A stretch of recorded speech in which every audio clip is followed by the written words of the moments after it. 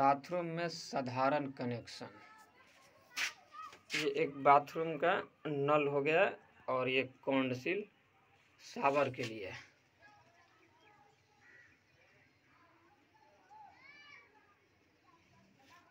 और ये एक लैट्रिन के लिए नल।